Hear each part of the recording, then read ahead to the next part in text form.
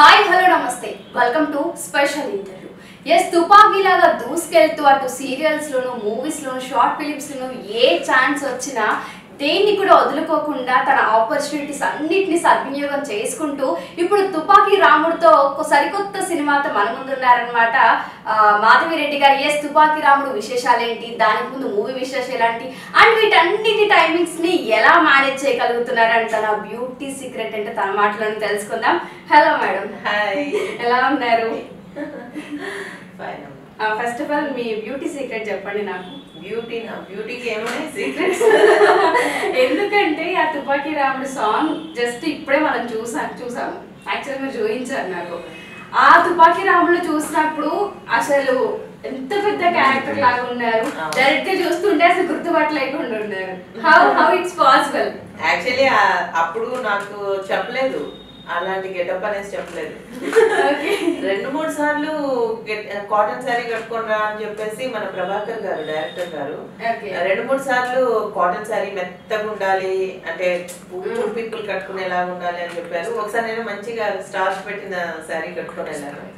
అలా వద్దమ్మా నువ్వు చాలా మెత్తగా ఉండాలి ఇది పూర్ క్యారెక్టర్ కదా.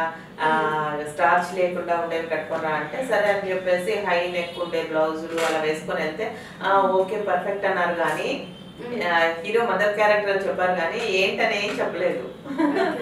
సరే గోదావరి కనిలో షూటింగ్ అన్నమాట. షూటింగ్కి వెళ్ళిపోయాను. వెళ్ళిపోయిన తర్వాత మేకప్ మీరు చేసుకోకండి మా మేకప్ మ్యాన్ చేస్తారు అన్నారు. సరే అని చెప్పాను. వెళ్ళాను. కాస్ట్యూమ్స్ కూడా వాళ్ళే తీసుకొచ్చారు. మొత్తం అసలు ఇంకా అన్ని ఫోల్డ్స్ పెట్టేస్తున్నారు ఫేస్ మీద. ఆ, నాకు అసలు ఇంకా ఎంత నా ఫేస్ మొత్తం అంటే గమ్మున వేయించుకున్నాను. వేసుకున్నాక మిర్రర్లో చూసుకొని ఇంకా నేను క్యారవాన్ దిగి నడుచుకుంటూ వెళ్ళిపోతున్నాను. అంత కోపం వచ్చేస్తుంది. ఇంత చండాలంగా చేయాలా ఏంటి? ఫేస్ అనుకొని వెళ్ళిపోతున్నాను అనమాట అయితే నాకు అక్కడ వాళ్ళు ఒక అసిస్టెంట్ ప్రొవైడ్ చేశారనమాట ఆయన ఫోన్ తీసుకొని మేడం మేడం అని పరిగెత్తుకుంటూ వస్తున్నాడు ఆయన వచ్చి మీ ఈ లిరిక్స్ అన్ని మిమ్మల్ని ప్రాక్టీస్ చేయమన్నారు. డైరెక్టర్ గారు అంటే ఏం లిరిక్స్ అన్నారు? సీన్ పేపర్ ఈరా అంటే కాదు ఇప్పుడు సాంగ్ షూట్ అంట మీకు మంచి సాంగ్ ఉందని చెప్పి ఆ సాంగ్ వినిపించంగానే అంతసేపు అసలు నాకు కోపం వచ్చేస్తుంది. మా వాళ్ళకి ఫోన్ చేసి నేను ఏడుస్తున్నా. నాకు ఎంత ఇలాంటి గెటప్ ఇచ్చారు ఇంత పాత బట్టలు వేసుకొని ఈ మొహం నిండా ఇలా వేసుకొని ఈ చేయాలంటున్నారు. ఇప్పటివరకు నేను ఇలాంటి చేయలేదు. పైగా మూవీలో ఇలాంటి అవసరమా నాకు? ఇన్ని చెప్తున్నాను నేను. ఎప్పుడైతే ఆ సాంగ్ విన్నానో నేను వెంటనే ఈ సాంగ్ నాకేనా అన్న. అవును మీకే అంట అనగానే ఓకే ఓకే అయితే అని చెప్పేసి అసలు ఇంకా హ్యాపీగా చేశాను షూటింగ్ సో అలా. తుపాకీ రాముడు మూవీ బిత్తి సత్తి గారు చేస్తున్నారన్న విషయం మీకు తెలుసా మేడం హీరోగా? బిత్తిరి సత్య హీరో అని తెలుసు. ఓకే. అయితే బిత్తిరి సత్య గారి కాంబినేషన్ నాకేమీ లేదు. ఎందుకంటే నేను నా అంటే నాకు అంటే ముందర రెండు సీన్స్ ఉన్నాయి. అందులో ఒక బాబు దొరుకుతాడు. ఎవరు పెంచుకోవడానికి రెడీ అవ్వకపోతే నేను పెంచుకుంటాను. సినిమా రిలీజ్ అవ్వకముందే చెప్పేస్తున్నాను పెంచుకున్న పెంచుకుంటూ ఆ, నా హస్బెండ్ క్యారెక్టర్ పేరు తుపాకి రాముడు నేను ఇంకా హస్బెండే నా కోసం పంపించాడు అనేసి ఆ పెంచుకునేటప్పుడు ఆ మొత్తం ఆ అబ్బాయి ఇంత ఇంత ఇంత పెద్ద అయ్యే వరకు అంటే ఒక మిడిల్ ఏజ్ వచ్చే వరకు నేను పెంచుతూ పెంచుతూ చనిపోతా పాటలోనే. అంతే నా క్యారెక్టర్. ఎలా అనిపించింది ఆ మూవీ చేయడం? సూపర్ అండి. ఆ సాంగ్ చాలా బాగుంటుంది. చాలా మెలోడియస్ సాంగ్ అది. మా ఇంట్లో వాళ్ళందరికీ నేను అప్పుడే నాకు వినడానికి పంపించిన సాంగ్ మా ఇంట్లో వాళ్ళకి పంపాను. వాళ్ళు చాలా బాగుంది చాలా బాగుంది. గెటప్ ఎలా ఉంటాయి అంటే మూవీలో సాంగ్ ఉండడమే మనకి స్పెషల్గా అంత మంచి సాంగ్. బాగుంది కదా అని అన్నారు. ఆ తర్వాత ప్రోమో కూడా ఫస్ట్ సాంగ్ నాదే రిలీజ్ చేశారు. సిక్స్ మంత్స్ పైనే అయిపోయింది ప్రోమో రిలీజ్ అయ్యా సాంగ్ ఇప్పుడు మొన్న ప్రీ రిలీజ్ ఈవెంట్ అయింది చూసాను. ఎలా అనిపిస్తుంది మేడం ఇప్పుడు అంత మంచి సాంగ్ చేశారు? అది అవుట్ వచ్చిన తర్వాత చూసుకున్నాక అంటే? మనకు తెలియదు కదా అది బిట్లు బిట్లుగా చేస్తారు. దాన్ని కొంచెం గ్రాఫిక్స్ జోడించి మరీ చేశారు చాలా బాగుంది అంటే ఆ- సాంగ్లో ఫీల్ మనం చేసేటప్పుడు అంత చేయకుండా ఈ గ్రాఫిక్స్ అంటే కట్ కట్గా అలా చేయడం వల్ల అది చాలా బాగుంది సాంగ్. విద్యాసతి గారితో ఫైనల్గా ఎందుకంటే యాక్చువల్గా కొడుకు తనే కదా. ఆ, అవును అంటే వాది నాది కాంబినేషన్ లేదు. నేను టూ డేస్ వర్క్ చేసుకొని డే అండ్ నైట్ వర్క్ చేసి వచ్చేసాను. నాకు వేరే షూట్స్ ఉన్నాయి ఇక్కడ. నేను ఓన్లీ టూ డేసే నాకు టైం ఉంది అంటే ఓకే అన్నారు. టూ డేస్ నైట్సే చేశాను. అంటే day full days nights work చేసేసి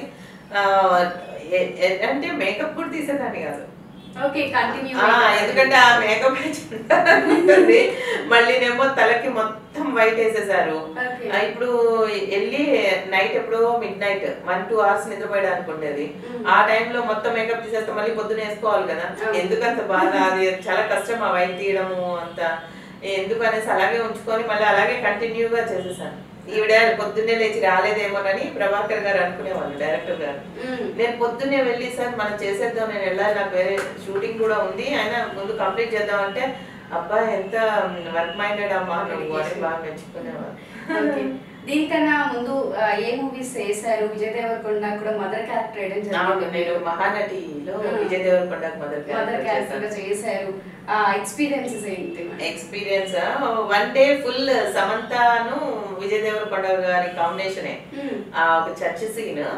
అందులో రోజు మొత్తం వాళ్ళతోనే కలిసి ఉన్నాను నేను అంటే నేను ఏమనుకునేదాన్ని అంటే హీరోయిన్స్కి తెలుగు ప్రాబ్లం ఉంటది కదా కొంతమంది బయట వేరే స్టేట్స్ నుంచి వస్తారు. వాళ్ళు ఏదో ప్రాంప్టింగ్ తీసుకొని ఉత్తి లిమ్సింగ్ చేస్తారేమో. ఎందుకంటే మా సీరియల్లో వాళ్ళు అలాగే చేస్తారు. మా సీరియల్లో వేరే స్టేట్స్ ఎక్కువ కర్ణాటక నుంచి వస్తుంటారు. వాళ్ళు ఊరికే లిప్ సింక్ చేస్తారు అంతే. పెద్దగా సౌండ్ కూడా ఇవ్వరు. ప్రాంప్టింగ్ చెప్పేది విని ఏదో లిప్ సింక్ చేస్తారు. సో అలాగే చేస్తారేమో సమంత గారు కానీ ఎందుకంటే ఆవిడకి తెలుగు రాదు కదా అని అలా అనుకున్నా నేను. కానీ నిజంగా పడ్డారు ఓకే. ఎలాగంటే అసలు ఆవిడ సీన్ మొత్తము. మొత్తం ఒకే షాట్లో తీశారు. ఆ సీన్ మొత్తం ఆవిడే డైలాగ్స్ చెప్తారు. వితౌట్ ప్రాంప్టింగ్ మొత్తం అన్ని డైలాగ్స్ మొత్తం ఆవిడే చెప్పారు. అది కూడా మధ్యలో యాక్షన్ తీసుకుంటూ ప్లేస్ చేంజ్ అవుతూ అన్ని ఆవిడే చెప్పారు. నిజంగా వండర్ అయిపోయాను ఎంత సీరియల్స్లో మేము డైలీ షూట్ చేసే వాళ్ళమే అని చెప్పలేము. అంత. కంటిన్యూ అన్ని డైలాగ్స్ మన. లాంగ్వేజ్ కాని. వాళ్ళు తెలుగు నేర్చుకొని అన్ని డైలాగ్స్ నేర్చుకొని మాడ్యులేషన్తో మధ్యలో యాక్టింగ్ చేస్తూ అన్ని చెప్పారు. సో నేను అడిగాను కూడా ఎలా మీరు ఇంత అంటే మాకు సీన్ పేపర్ ముందే ఇస్తారు కదా నేను ప్రిపేర్ అయ్యాను అన్నారు సింపుల్గా. ఓకే. విజయ్ దేవరకొండ గారితో మాట్లాడడం జరిగిందా? ఒక ఎక్స్పీరియన్స్ అలా? మాట్లాడాను. చాలా కూల్గా మాట్లాడతారు. ఏదో మన ఫ్యామిలీలో ఒక మెంబర్ లాగా. చాలా బాగా మాట్లాడతారు. ఇంకా చాలా ఒక సినిమాలో హీరోయిన్గా కూడా చేయడం జరిగింది మీరు. చూసుకుంటే. మొన్ననే రిలీజ్ అయింది. టూ మంత్స్ బ్యాక్ రిలీజ్ అయింది మార్కెట్లో ప్రజాస్వామ్యం అనే మూవీ. దానిలో హీరో వచ్చి ఆర్నారాయణ మూర్తి గారు ఆయనే డైరెక్టర్ ఆయనే హీరో. చాలా అంటే వారి డైరెక్షన్లో చేయడం అనేది కొంచెం కష్టం. ఓకే. కష్టం అంటే ఎక్కడ ఇబ్బంది పడ్డారు? అంటే రూల్స్ అండ్ రెగ్యులేషన్స్ ఇప్పుడు మామూలుగా ఎక్కడ బయట అయితే మా అన్ని షూట్స్లో ఎలా మనం యాక్ట్. చేస్తామో అక్కడ ఉండే రూల్స్ కిను ఆర్ నారాయణ మూర్తి గారి మూవీలో రూల్స్ డిఫరెంట్గా ఉంటాయి. వారి భావాలు ఎలా డిఫరెంట్గా ఉంటాయి ఇంకా ఆయన మూవీలో ఉండే అంటే ఎలా ప్రపంచాన్ని ఏదో చేంజ్ చేయాలి. ఏదో రివల్యూషన్ తీసుకురావాలి అనేవి కదా. సోషల్ భావాలు ఉంటాయి. అవి ఆ దానికి అనుగుణంగానే ఉంటది ఆయన నేచర్ కూడా బయట. సో ఆయనతో వర్క్ ఎక్స్పీరియన్స్ కొంచెం కష్టమే అంటారు. కష్టమే. అంటే స్ట్రిక్ట్ రూల్స్ ఉంటాయి. మనము మనం ఎట్లా అంటే ఇక్కడ మన ఐడియాస్ చెప్పొచ్చు మూవీలో. ఇలా చేస్తే. బాగుంటుంది అలా చేస్తే బాగుంటుంది. మనం ఇందాక ఇలా చేసాం కదా అలా మాట్లాడుకుంటాం. అక్కడ అలాంటివి ఏమి ఉండవు. అసలు మాట్లాడకూడదు. అసలు మాట్లాడకూడదు ఆ సీన్ పేపర్ ముందు ఇవ్వరు. అసలు ఇవ్వరు కూడా. ఒక్కొక్కసారి. ఇవ్వరు. ఆయన చెప్పినప్పుడు విని మనం వెంటనే చెప్పేసేయాలి డైలాగ్ మనం సెకండ్ టైం అడిగితే మళ్ళీ చేంజ్ అయిపోద్ది డైలాగ్ అంటే ఆయన ఓన్గా చెప్పేస్తూ ఉంటారు కదా. సో ఈ మూవీస్ కాకుండా ఈ మధ్యలో చూసుకుంటే సీరియల్స్ చాలా సీరియల్స్ వేశారు మ్మ్. ఇంకా స్వాతి చినుకులు అయితే కంటిన్యూ అవుతూనే ఉంది. ఎట్లా మేనేజ్ చేస్తున్నారు మేడం డేట్స్ని కానివ్వండి?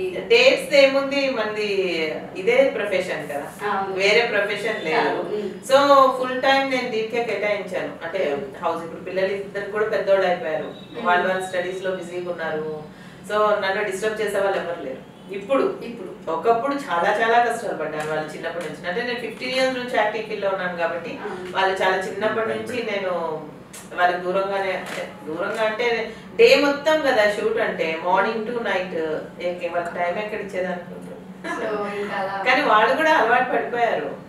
అంటే మా ఇంట్లో కూడా షూట్స్ అయ్యాయి కాబట్టి మా అందరికి తెలుసు షూటింగ్ అంటే ఏంటి టైమింగ్స్ ఎలా ఉంటాయి ఏంటి అనేసి. సో పిల్లలకి అలవాటు అయిపోయింది. ఇప్పుడైతే ఇంకా అసలు వాళ్ళు ఫుల్ బిజీ స్టడీస్లో. మన గురించి పట్టించుకునే టైం లేదు. మనము ఇంట్లో బోర్ అవుతున్నాం అనే బాధ ఉండదు. మనకి ఫుల్ టైం వర్క్ ఉంది. Please like follow and subscribe please subscribe please subscribe please subscribe please subscribe subscribe please subscribe please subscribe film Jalsa to film Jalsa film Jalsa to film Jalsa film Jalsa. Film Jalsa. Film Jalsa channel. तो film जलसा।